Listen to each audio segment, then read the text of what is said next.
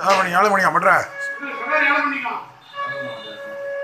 பராட்சாய் பராகரணப்பாடு கவிதாக்கிக Simha சர்வதந்திர Swatantra உபயவே